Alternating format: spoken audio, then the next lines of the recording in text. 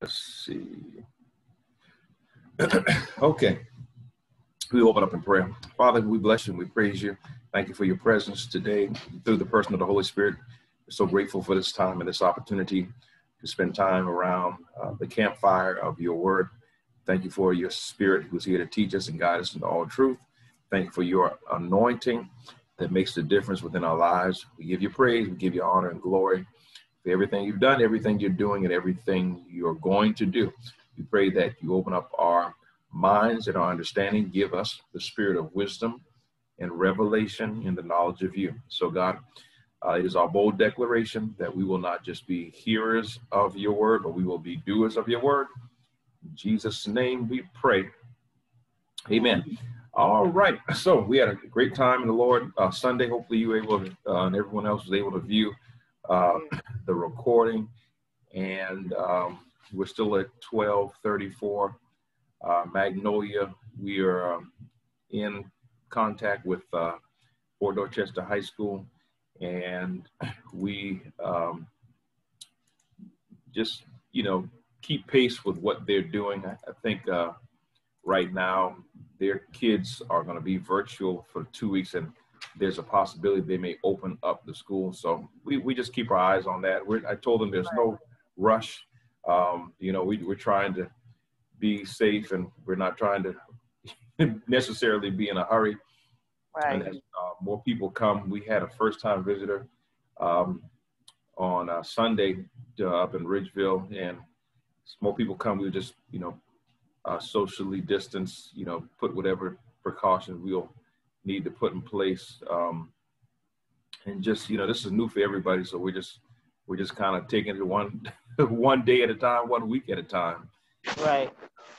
Trusting God every, every step of the way. So we've been, uh, we're still, we're wrapping up the series about hope. And we said, um, especially in this day and age, it's important for us to um, have hope. We define hope as a positive expectation of good. Hope is spiritual optimism. It is anticipation.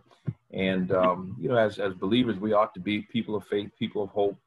Um, we should have a positive expectation because of uh, the God that we serve. Um, the gospel represents the good news to us. So, you know, for the child of God, I think there's always a silver lining um, in the clouds. And, and, you know, for us, uh, we should always uh, look and anticipate seeing a light at the end of the tunnel you know, there's so many different verses that speak to the believer having a positive expectation. You know, some of the ones that come to mind are, you know, all things work together for the good of those that love God, that are called the called according to his purpose. You know, the Bible says, thanks be to God who always causes us to triumph, always causes us to win. You know, the Bible says that, you know, the greater one lives on the inside of us. We can do all things through Christ who strengthens us. God is able to do exceeding abundantly above all we ask or think. These are just popular verses, but they're all positive and they they speak to what God will do in our lives when we're going through trying times. And that's that's good news, at least for me.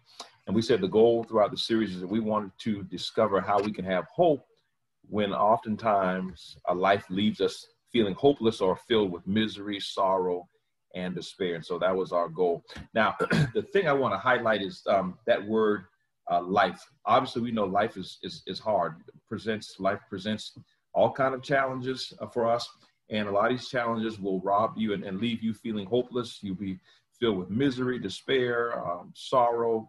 You would just literally be dejected, and you'll throw your hands in the air and just you know just wonder why you're you're going through or experiencing some of the things you may be witnessing in your life. You know, in life, we deal with the loss of loved ones, you know, uh, people we have formed and developed long-time relationships with, uh, family members, you know, we lose them. That's especially hard. We've all been there. Um, we have a domestic issue, divorce, separation, strained family relationships. Uh, we, we deal with illness, sickness, disease, financial struggles. So life can be brutal. And um, if you're not careful, um, it can leave you feeling hopeless. Jesus never said we wouldn't ever have challenges in life. You know, the Bible says in the world we will have tribulation. The Bible also says that uh, many, not some, many are the afflictions of the righteous, but the Bible says God will deliver us out of them all. And so, you know, life just comes with challenges, just comes with the territory. It's just, it is what it is. But despite all this, we know God tells us to have hope. We have to hope in Him. We have hope in the Word of God. We have to hope in, and expect Him to um, essentially do what we can't do for ourselves. And so um, that's the reason why we can have that kind of expectation. So let me pose a couple questions out here for you, some things we want to consider about having hope. So as these are some things I see in the life of, of, of, Christians. How do we get to the point where, hey, brother Swin, how's it going, man? I see you there. Hey, sir, how are you? All right, all right. Uh, uh, Sister Liz, you out there? Yes, how are you? How you doing, ma'am? I'm doing good. So you playing on your computer for a little bit. I figure you get it together every once every. I, I, I just I gotta play with this thing. I tell you. so you know, we, we're talking about some of the challenges we go through in life, how we can maintain our hope in God and our confidence and expectation in what God can do in and through us. How do we get to the point where we can separate the challenges of life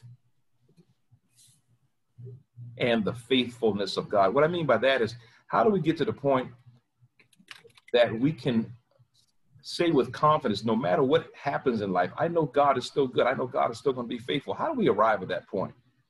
We can really separate the two. The challenges we go through and the fact that we know without a shadow of a doubt that God is faithful no matter what. How do we get to that point in your mind?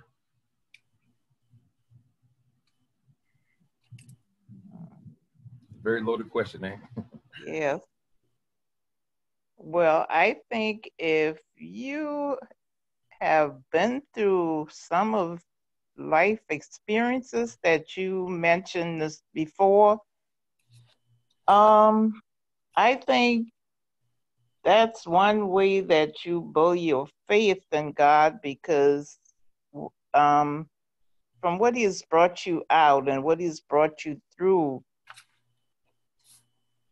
and I don't I don't I can't think of any other way of I mean, you know, when he bring you out of something that you just, you know, you could have just given up or whatever, but you just see the faithfulness of the of God and you know that he is you know he's still on the throne and he hear your cry and he will never let you down. And i think that's you know that's what i think. I don't know. I could be wrong but that's from my experiences in life, you know, some things that I've been through and what God has brought me through, it helps me to maintain my faith, maintain my hope in Him. Absolutely. Our experiences really provide themselves as proof, evidence of what God can do that, you know, no matter what happens, God is faithful. We still can have hope. Any any thoughts there, brothers, when how we can separate the challenges we go through with the with God's faithfulness and, and whereby we can still have hope? I think I would say this by his blessings upon our lives because and my case in point is about that is uh, I, you know I take my wife because she went through a lot you know with her uh, cancer and everything. And you know her mom you know she she passed at an early age and it was bad for her. And you know she tell me she had memories of that. So I look at her and I say well she's God's walking, breathing miracle, his word in the flesh, because, you know, praise God, she's been healed now for 16 years plus, and, awesome. and during the time that, uh, uh, you know, she was with her, and I was with her from day one, from the from from the moment she found out to the second, and I see God's work in her and His His miracle in her life, and I say, you know, God is, if He's real, you know, and and our experience, my experiences over time that that right there builds strength in me, builds strength in, in, in when I minister to other people or giving them a word or what have you. I can say God is real, His word is true. Don't there's no need to ever doubt that no matter how dark the morning seems or how dark the night seems, you know, joy and peace comes in the morning time. And if you stand on God's word, it, it might look bleak, but it's going to come through. So that's the first thing I would say. And the second thing I would say is that of course, staying in His Word, and and I would say, jump on uh, Sister Liz's comment as well. What what we've been through, His Word, and and what we see. Everybody's looking for, you know, something big to fall out of the sky and stuff. It's not quite. God is not like that. Yes, He might work that in certain situations, but for me and for for for my life, for our lives, He He works in in in small ways, but if you look at, they're very powerful, and for him to heal her and and and and to uh, to keep her, you know, because you hear so many horrible, horrible stories about cancer, and he brought me out of it. Because I'm gonna tell you, Pastor uh, Sister I cried a lot of mornings, a lot of mornings, but I was strengthened to His Word because He said that you know this is this is this is the purpose. This is your purpose in her life. And many times she, you know, we talked about, I said, well, you know, why me? I said, well, God's got a plan for you. He's got a plan for us. He's got a plan for our family to show that his word and his truth is real. And there's never any doubt that you should have or any fear that you should have because you know that his word is true and it would not come back to him void. So those are two things I would say is to you know have that belief and see it see it in the flesh and see it in in um, the way he changes the situation. The, the only thing that you can come out and say it was not of this world. It had to be god. It had to be uh, our lord and savior jesus christ because man is not able. He's not possible. Or he can't do that.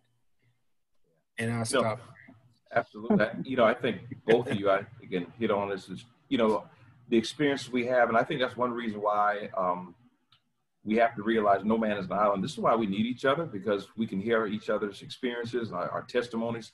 I think that's why one of the uh, things Satan tries to do to um, children of God and people in particular, to um, especially when we're feeling down and we're feeling hopeless and we're filled with sorrow and despair, he wants to isolate us, um, and he doesn't want us to be around other believers who can encourage us in our faith and and who we can gain or pull inspiration from, because every time we think about what God has done in our lives or when we see God doing something in other people's lives, it allows us to continue to have hope and have an expectation that, hey, if God did it for this person, and I know he's no respecter of persons, he can do it for me as well.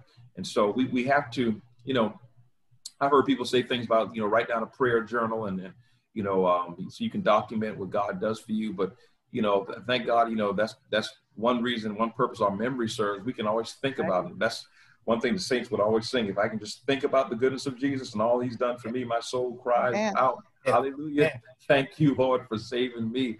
You know I, they would always say you know if, if, if, you know what i went through you would understand well i praise god the way i do. Because yes. we just think about how faithful god has been. In addition to that I, I do think you know sometimes we, we don't have the right kind of understanding because and and this is something i try to eradicate just as a teacher in the body of christ is a lot of times we attribute our problems to God trying to, you know, get some greater glory out of our lives, or maybe He's sending problems to teach us some greater lesson. And you'd be surprised, some preachers even teach that. I, I've come to realize that some things we go through in life, God had nothing to do with it. It's just the virtue of, of, living. You know, the, it just mm-hmm. life presents challenges. We live in an imperfect world. We do have a real devil, by the way, we deal with.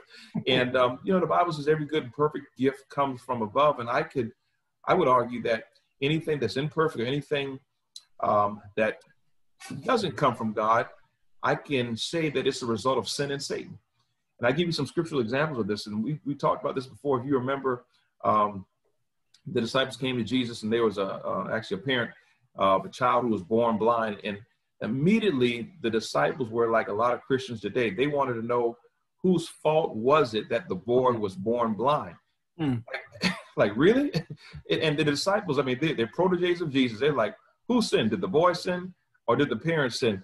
Jesus, and, and it's amazing, Jesus didn't even answer them their specific question because he was trying to let them know nobody sinned. Like they didn't do anything to bring this on them. It just happens as a result. You know, we lived in a perfect world, but sin came into the world. So now we live in an imperfect world. Things happened, you know.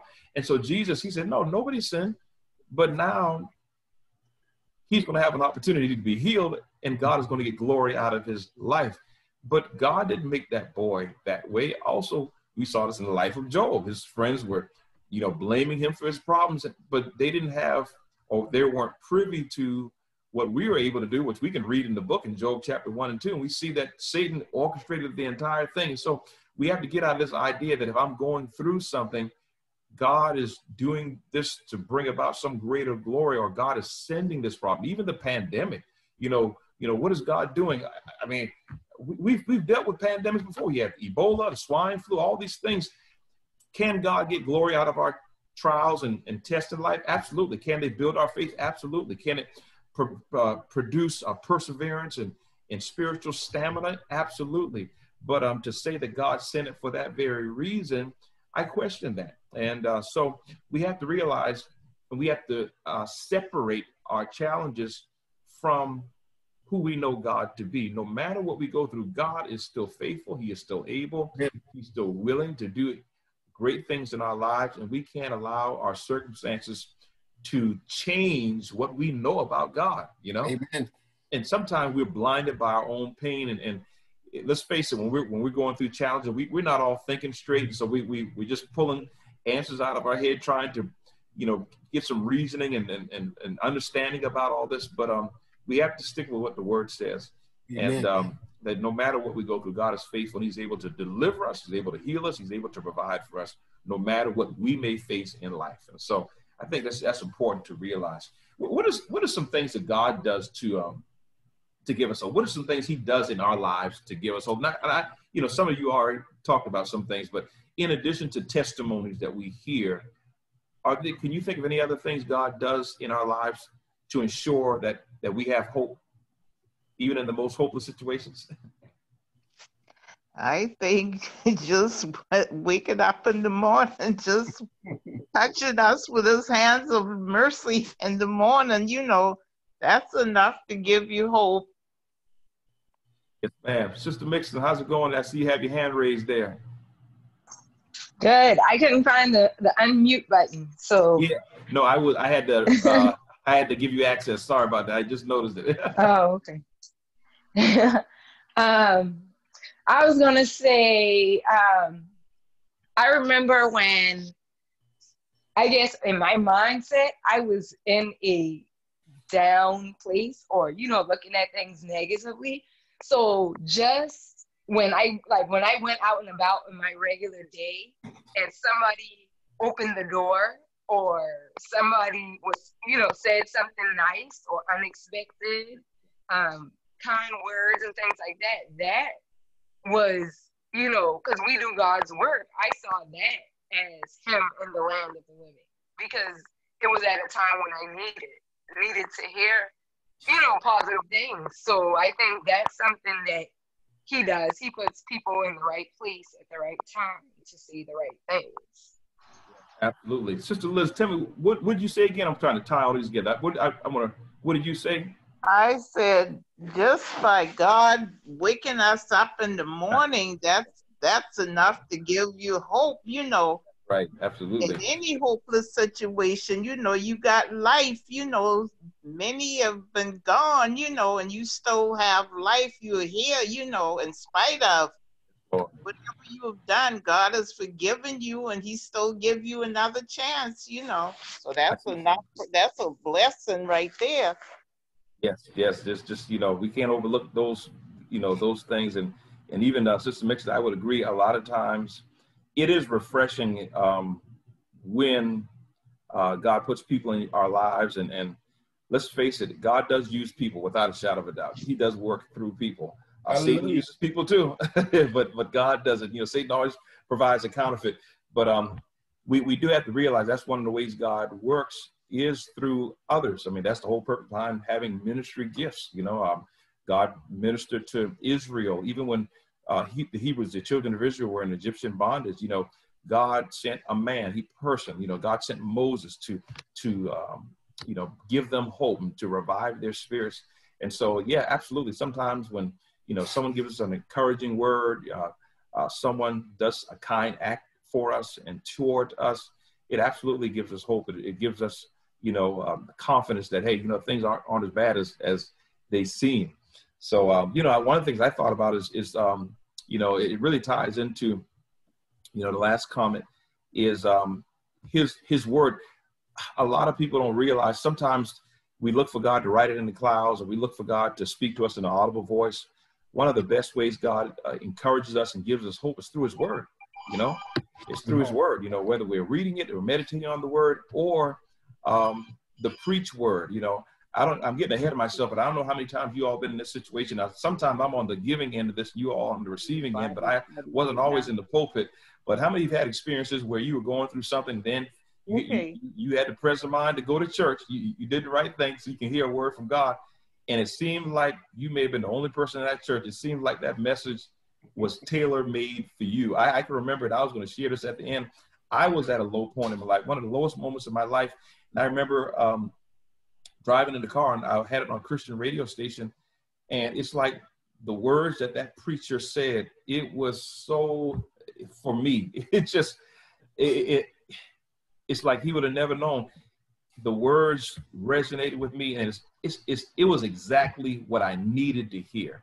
And um, I think we can never underestimate the value that God's word brings to our lives, how it can lift our spirits, how it can change our perspective, how it can lift us up when we're down. Um, you know, again, the Bible does says faith come by hearing. That's why when we're in these dark places and moments in life, it is imperative that we hear the word of God, whether you know someone singing the word or preaching the word, or if we're meditating and, and speaking God's word to ourselves, we can never underestimate, undervalue the significance, and not only that, the, the, the supernatural power that is in every word from God. The Bible says that the word of God can build us up, give us an inheritance among those that are sanctified. So I think we, we have to realize, you know, that's probably, I would argue, the primary way that God gives us hope is through the scriptures, through the word of God. And before we get out of here, I'm going to give you a verse that um that absolutely proves that point. Any other comments there? And I'm going to ask you all a couple other things as well. So let's let's talk about this. Um, we would all agree sometimes people can present challenges in all of our lives. Why, why do we at times allow people to cause us to lose hope in God?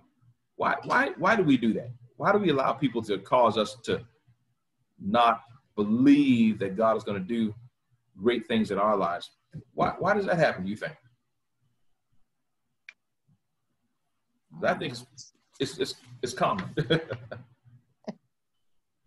we, we, we allow people to change our perception and view of God. How does that happen? Why do we allow that to happen? I think it's difficult. It's, it's a difficult position to be in when you're um, trying to exercise faith for something that you've never seen, and you talking to people that you trust or people that you can see. And I guess sometimes we kind of value um, what we say based on their role or position in our lives, but it's kind of hard to, I mean, in, in general, just to walk by faith, but especially when you really are desperate. And then you're confronted with opposition. It, it's kind of like contradictory because it's something you can't see versus something or someone you can. Yeah, yeah. That's good. Anybody else? People, that's no doubt. I mean, the Bible says that people people can be one of our biggest challenges. Anybody have thoughts why we allow people to cause us to lose hope in God? Sometimes we can get with the, you know, the wrong group of people. That's why I always say is you gotta choose your company wisely. You gotta choose your friends wisely because just sometimes people can um say there's like people got power in their words some people and they will try to convince you to they you know to the way they think versus the way you think um no matter what you know. That's why we have to main try to maintain our faith and maintain our confidence in god. But i always say you know um you just have to learn how to connect yourself with um, the right people because you know everybody is not your friend. Everybody not gonna say the right thing sometime. And if you're not a strong person or a strong believer sometimes you know person can sway you the wrong you know the wrong way on the wrong direction or the wrong way of thinking. Absolutely absolutely. Choose your company wisely. Any thoughts there brother swinton? I would say for Sister Mixon and Sister Liz, I want to add, and you could, she could, they could have touched on this, relationships too, because if you want to maintain a good relationship in family with with with whoever it might be, um, you have to be very careful with that because it, it can be it can be a um, what is it? Like a rudder because you say oh you know I you know I don't I don't I want to listen to what this person says but I don't want to hurt him I don't want to do this. So I think relationships uh, and to me is one of the, a big thing too. And then leading that on to uh, maintain our faith and we have to stand stand firm. So I hope I'm making sense because yeah, I listen to what you say, but as it relates to our relationship or as it relates to faith, but I have to stand firm on my faith and the faith that I have in Christ Jesus because it's, it's proven. It's, it's, it's always proven. Whether it comes, uh, when it comes, or how it comes, it's, always proven. It's, it's never, a, like to say, a false narrative um, it, it's, it's always true. And yeah, there are going to be situations and relationship and people that I would say that, that would try to challenge that. And I think for me, I, I see the, the challenges that we as Christians go through on a daily basis against, I don't know, the secular world, if that makes sense, because they ch- they challenge us all the time. You know, the way we act, the way we talk, the what we believe, the, the whole the I know the whole uh, gamut of, of, things that the world is caught up in right now and has been caught in, will probably will be caught up in, versus uh, us standing firm and standing strong. So a relationship, I think, is is is is a biggie. Just like the, the wife told Job and said, "Well, you know, why don't you just curse God to die? what? I'm telling. Listen, it, it, this is thing is, is, is a challenge. You know, I, I'll piggyback on what Sister Mixon said because here's the thing: we're relating to a God we cannot see, but we always are interacting with people we can see. I can argue that it's easier to relate to people than it is to God, just because it's going to take an element of faith. God is invisible, uh, so that that can be a challenge in itself. And one of the things I found is that a lot of believers, this this happens more times than not, they lose hope in God because in human relationships, we get hurt. We get hurt, and yes. it, it, causes us to be devastated. And yes. because it's emotionally overwhelming, it has a negative impact on our faith. And so uh, it's a challenge because the whole idea of being in a, a relationship with someone, it does require a certain level of vulnerability and which leaves you open to be hurt. So but one thing I saw with Jesus in his relationships, it's amazing because he never, in all of his relationships, I'm not saying he was distant because I don't think ever anyone ever felt that they were unloved when they left his presence. But one thing he was, that I think is abundantly clear in scripture, he never allowed anyone to get too close to him to take God's place in his life. In other words, it was crystal clear that his number one relationship he fostered was his relationship with the Father.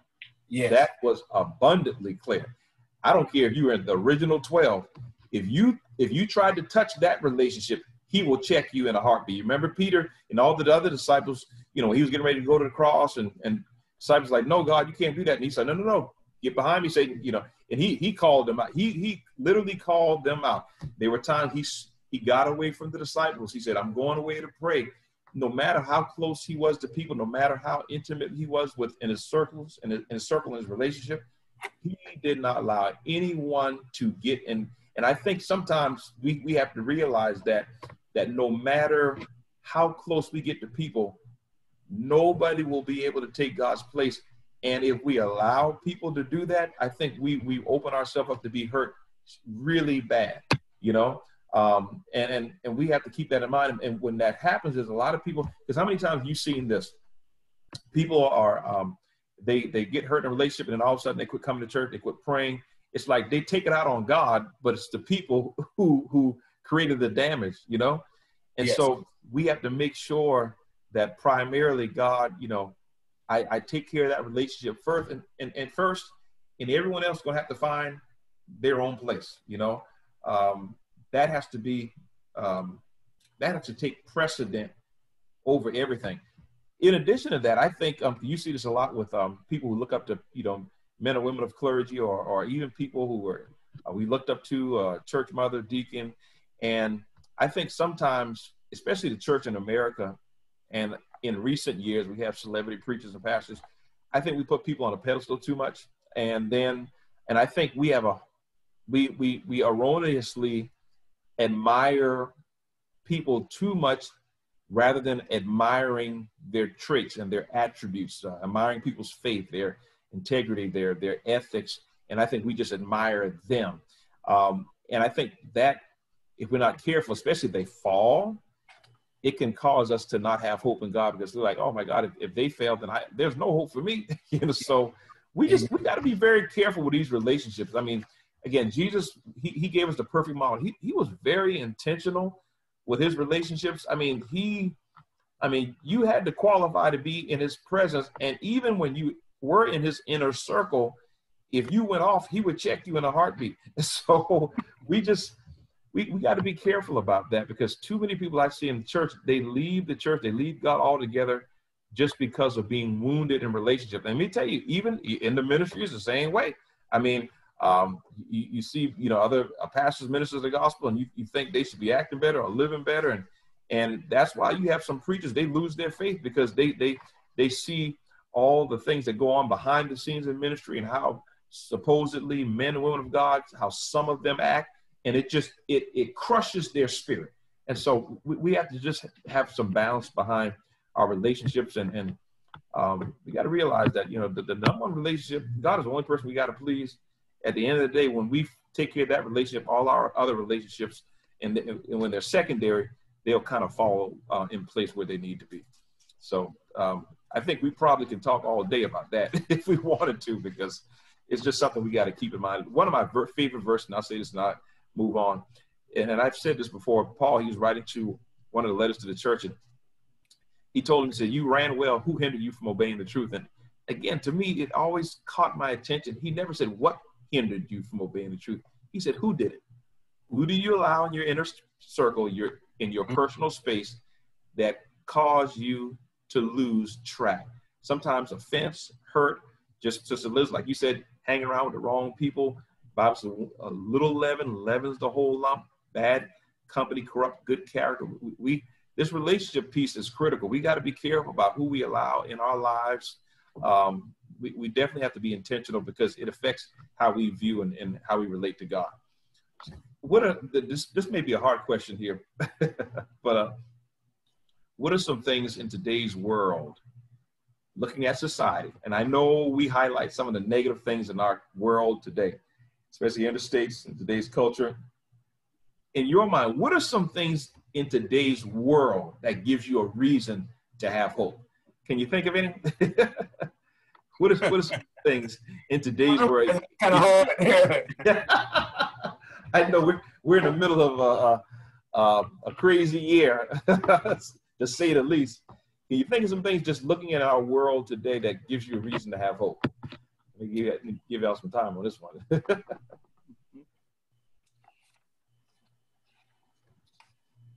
I think it's the same thing, relationships, because they, they can work for you and they can work against you.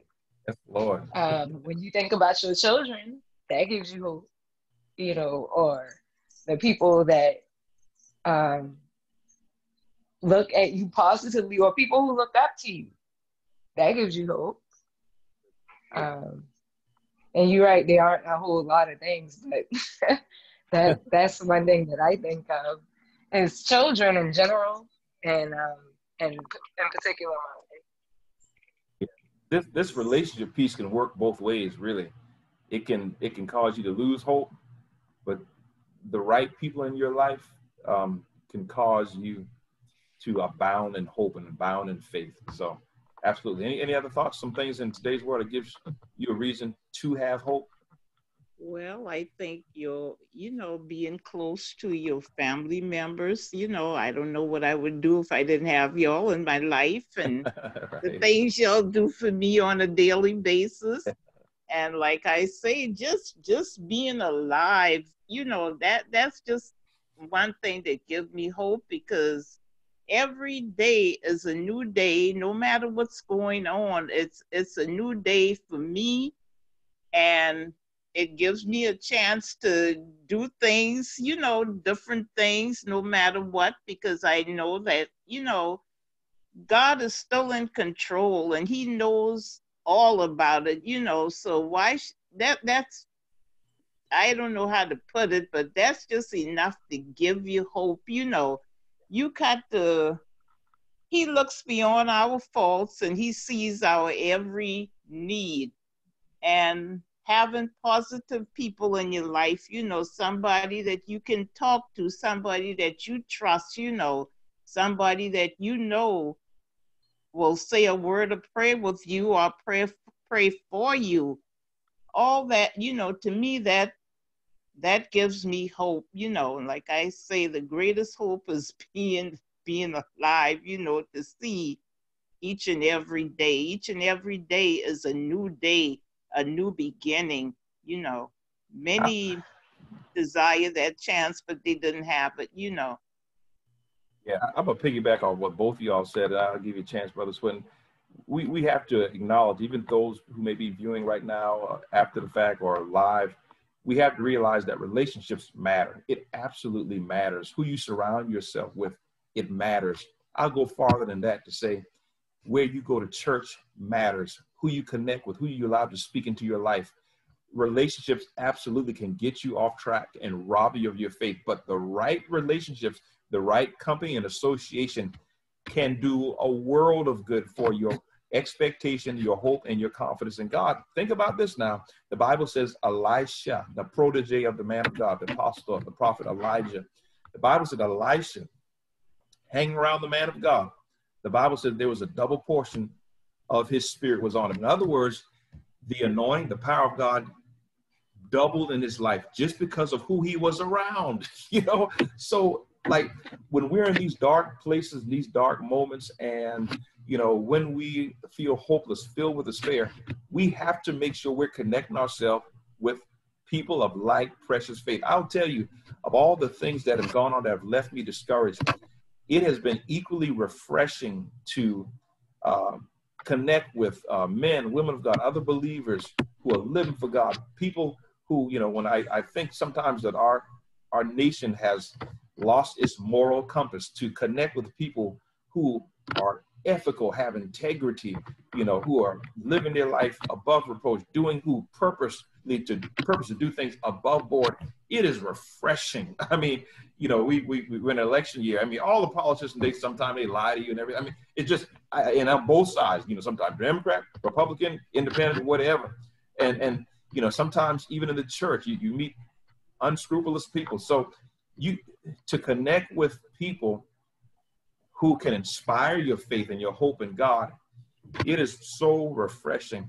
And we have to, you know, make sure we're connected with the right people, especially during times where our faith is weak. So um, one thing I was going to say, and it, it, really highlights what both of y'all said, you know, this past week, actually, I was talking to a, um, a brother of mine at church and I've known for years. I said his name, you would know him. He, he was telling me about some of the things God was doing in his life and he was just sharing his testimonies, you know, um, you know what God was doing. And, and again, we're we're in a, a, a, dark period in history to hear that God was still like blessing people and, and what God had been doing in someone else's life. It's encouraging, you know. Uh, you know, people who are doing well in God, in Christ, it's encouraging. And so, just hearing that alone, I believe these are things that that we can extract out of today's world that can give us a reason for hope. Any thoughts you had there too, Brother uh, Swinton? I want to give you an opportunity as well. No, I think you guys covered it on this one. you know, it's amazing. I was talking to Carol because she was saying that um, even the company she worked for, the real estate company, because you, you hear a lot of doom and gloom, especially on the in the media. And um, she was telling me the other day that um, I, I shared this at church. You know, her real estate company, like they're hitting record numbers, like they've never seen it before. Like again, we have like 40 million people out of work right now, but you have some people who are actually doing very well. you know, they, they, he said they're breaking records. I was, I was talking first. I was talking about actually. I, I, was talking to brother Mark.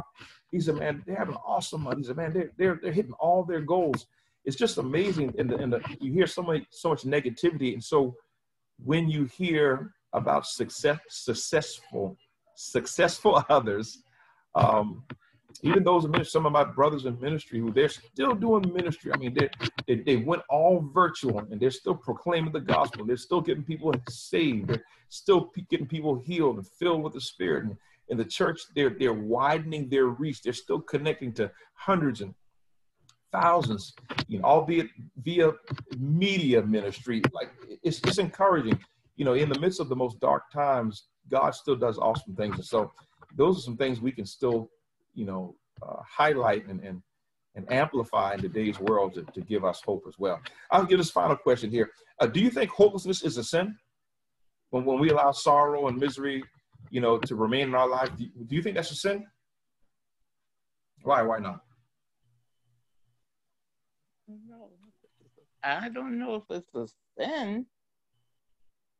I that's a that's a kind of hard one take a stab at that? You know, allowing sorrow, misery to to remain in your life. Is that a sin? I mean, it does show a lack of trust. It does show a lack of faith in God, you know, and it does show a lack of hope in Him. And I'm sure He would want you to cast all your cares upon Him and take your burdens to Him and leave it there. But I, I don't know. I, I don't know if it's a sin. I can't say that. I'll let somebody else tackle that one. I, think I would say, um, oh. go ahead, Sister Mix. Oh, okay. I was going to say, I don't think it is. I think it's the difference between being um, human and being godlike, per se. Um, and I I'm thinking of scriptures, but I know I don't know all of the words in it. And the one the ones that came to my mind was there's one about the heart. When um when your heart is um is dis, dis, disappointed. And it's a psalm. And, and it was something to the effect that when your hope was deferred or something like that you depend on God in a different way. Yeah. Um, so I, I think he expects that from us. I just don't think he expects for us to be there long. You know, he expects for us to get back up. He expects for us to encourage each other. He expects for us to grow from it. And so that's what I think makes a difference between, especially when you see a Christian or someone who because like you said, we we place these expectations on people. Yeah. And when you see them down, you get a different perspective of them. But when they're down and then they come back up, it's very encouraging um, to see them overcome whatever it was. Somebody that's that people, I mean, because everybody has a different perception of somebody else. So you see somebody who you um, perceive as being strong actually come down and then from from their experience with God or the way God brought them out, whether they get what they wanted or not, you know, to get back to the place where they were or to grow from it right. is very encouraging to onlookers or people who are not in the church. Right. You know? So I think I, I don't I think he expects us to get down. I, I just don't think he expects us to stay down, stay hope, stay in a hopeless mindset. Any thoughts there, brother Swinton? That's good. Is hopelessness a sin? Um, I would I would say yes because and, and I relate back to the book of Matthew where God teaches us not to worry. So I don't know if I can relate that together but if you're going to worry and you say, "Oh, how am how I'm going to pay this, how I'm going to pay that," and there's no hope, I never get a job, I never get this, and and and you be worried. Hopelessness is that mean that you for me it just mean that you just you just throwing it throwing in the tower so to speak because everything is lost you you you have that mindset and you have that attitude that everything is lost and nothing will nothing will come out of it. It, it won't be a sunshiny day tomorrow. It's going to be another dull day, another horrible day, and, and there's no hope for me. Why? Why should I commit? Why should I stay on the, the straight and narrow road? And for me, it relates back to being worried because if you're worried, you you there's no hope, you're worried about what am I going to do? How am I going to handle this relationship? How am I going to to stay firm? And I, don't know. I hope I'm not rambling, but for me, that's that's what I believe that it, it's, it's a sin when it comes to that particular part. Okay, I'll say two things. I'll, I'll backtrack a little bit. I, I made the uh, reference about politicians, they all lie. I won't put that out there. I'll, I'll leave that up for debate. And I, I, I can't broad brush every politician that way is saying that they're lying as, as something to highlight negativity in our world. But I will say this uh, concerning uh, hopelessness being a sin. I think I'm going to agree with everyone, if I can, uh, who made a comment, because um, I thought about a couple things. First of all, the, the verses you quoted all are accurate, you know, especially starting with Sister Liz about, you know, the Bible talks about, you know, having us faith, you know, uh, Brother Swinton, you, the, the scripture you referenced about, you know, being worried about what we're going to eat, drink, and wear. Jesus later went on to say, why do you do this, O you of little faith? The Bible says whatever is not of faith is sin. The Bible tells us to be anxious for nothing. Um, so obviously, you know, remaining in a state of despair and misery will not do things to help our faith. It will uh, take away from our faith. That being said, we are human, you know, uh, we all go through things. Jesus, when he was in the Garden of Gethsemane, when he was taking on the sin of the entire the world, the Bible said his soul was exceedingly sorrowful um, to the point of death. That's how low he was at that moment. Um, do we arrive at moments in our lives where we feel uh, just spiritually and naturally drained? Absolutely. You wouldn't be human if you didn't go through that. Um, and I'll piggyback on what Sister Mixon said as well. That said, um, I don't believe God wants us to stay there um, because if we remain there, um, again, it'll rob us of our faith. The Bible does say that worry uh, is a sin. Now, we, we think about sin as, you know, lying, cheating, stealing, and, you know, um, you know, all these things that are visible. But again, the Bible says whatever is not of faith, anything that can take away from our faith, we have to consider it something that we have to resist. And so we all find ourselves in low points in our lives, but at a certain point, God does, I believe, expect us to rise up in faith. You know, the Bible says a righteous man falls seven times, not once, twice, three times, seven times a righteous man falls, but he gets right back up again.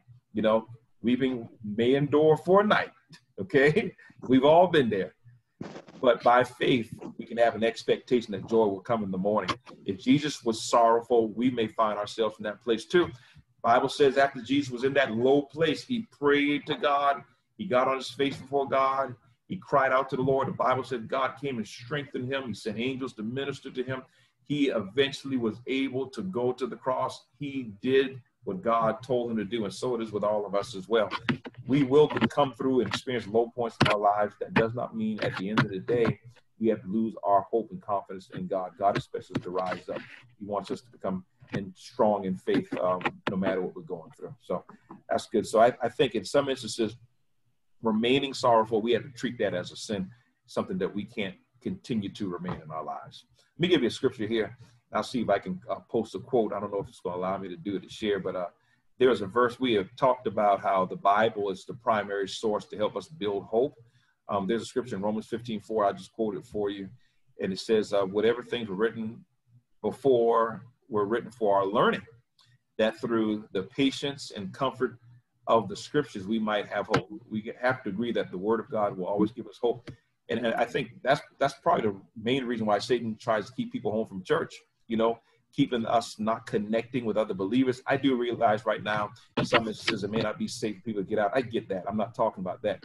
But, you know, uh, and, and honestly, to, to, to, touch on that, you know, I know across the country in, uh, in the body of Christ, there are a lot of Christians, pastors in particular, who uh, are arguing with, with uh, you know, um, officials and governors and those who um, create laws about some of the bans on churches and churches not being fully open. I think a lot of pastors are doing an excellent job um, streaming the word, you know, through, uh, you know, online, you know, uh, video technology. I, I, I'm not saying it takes the place of it, but I think it still provides us a means to connect and to hear the word. Again, the Bible just said we have to hear the word of God. So I commend those pastors for doing that. And I would argue that um, if we have to do this for a season, there's, there's no problem. There's, there's no issue. I understand the value behind fellowship, but as long as we can connect, and thank God through technology we can, as long as we can um, a fellowship relate, as long as we can hear the word consistently, as long as we're faithful to attend, you know, our online services, I, I believe our faith can still thrive.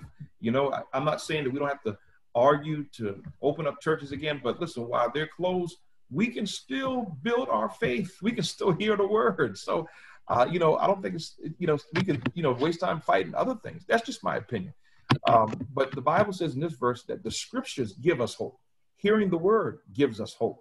You know, reading, meditating on the word, hearing the preach word, the word proclaimed, it builds our faith up uh, in the most trying times. And, and that's what we have to, to understand. Let me give you, uh, see if I can uh, share something here. Uh, it might not allow me to, but if not, I can just quote uh, the verse for you. There's actually a quote I want to give you here. A quote. I had it up on a, a, a real pretty uh, uh, screen, but I was, I'm trying to get I'm trying to get fancy now. I guess with uh oh not going to do that. I'm trying to get fancy with uh, technology. So I better I better not uh, try to show off too. Oh, here it is. I think I can actually do it. Um, uh, maybe not. Okay, so I won't I won't do it. So um, I'll just quote it for you. It says, um, "They say here hear this now." It says, "They say a person just needs three things in the world to truly be happy." Okay, person only needs three things in the world to be happy. Number one, someone to love. Number two, something to do. And number three, something to hope for. Someone to love, something to do, something to hope for. Now, what was interesting to me is God can check all of those off for us because we absolutely now we, we we agreed i think we agreed that of all our relationships, we need to first love the Lord with all our heart, soul, and mind. No one else can take his place. And I'm telling you, if we allow people, I don't care who it is husband, wife, son, daughter, mother, father we allow someone else in God's place, we're opening ourselves up to be let down. We're opening ourselves, we're opening ourselves up to be hurt. We need someone to love. I would argue, and I would suggest that person we need to love primarily, not to say we don't love anybody else, is Almighty God. This is what we need to be happy. We need something to do. Whatever God tells us to do. You know, we, we do have, by the way, we do have a cause to live for. Um, we do, we here on assignment.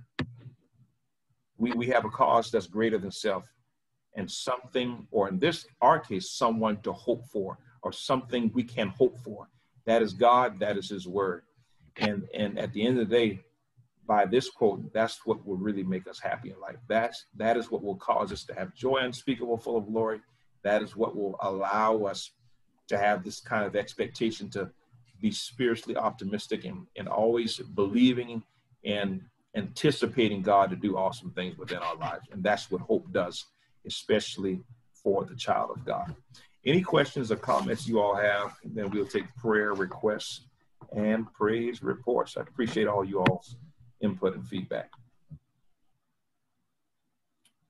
All right, all right, let's see. There you go, Sister Mixon. That's what I was thinking about. Hope deferred makes the heart sick, but a longing fulfilled is a tree of life. Of yeah. life. yeah. Yeah, Yeah, that's the one. I couldn't remember exact words, but that's what I was thinking. of. add, absolutely. You know, here's the thing.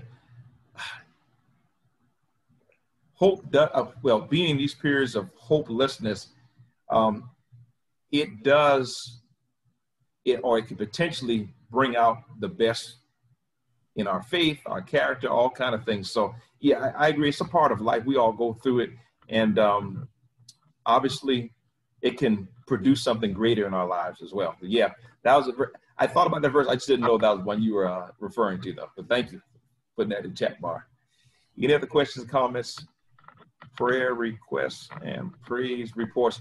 I um. I yes. have a prayer request.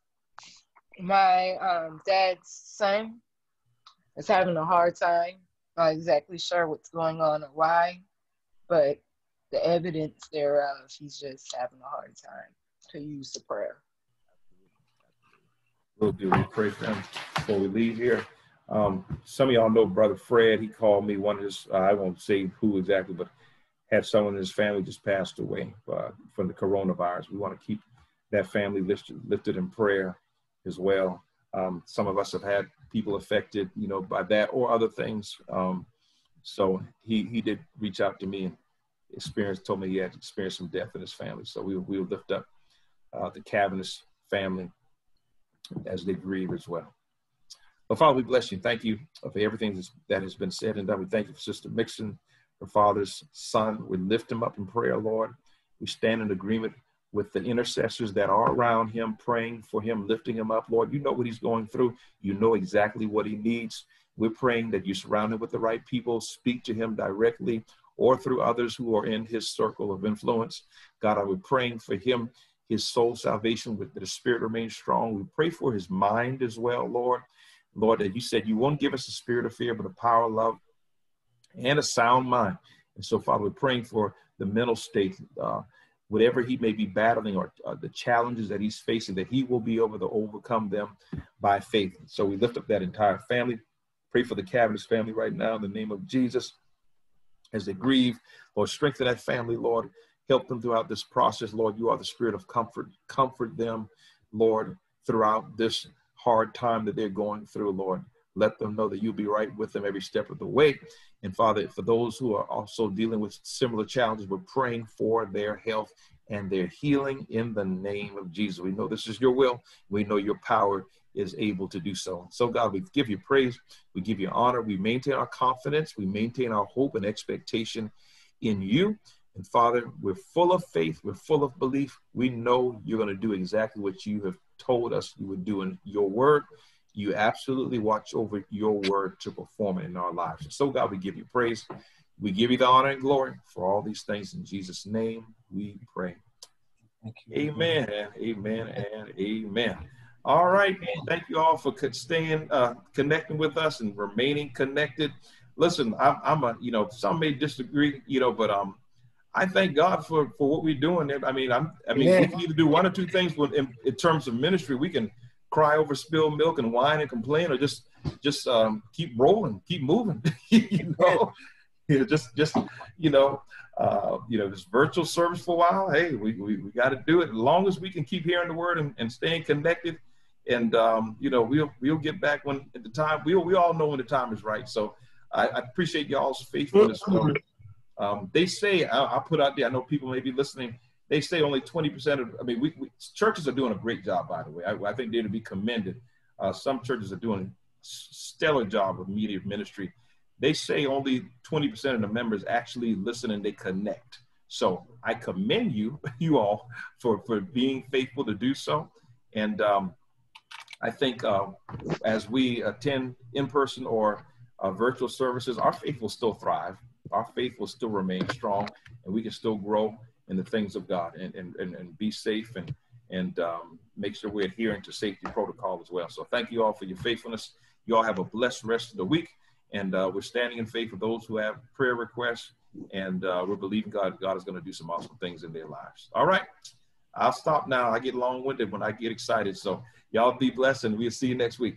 Amen. Amen. All right. Take care. All right.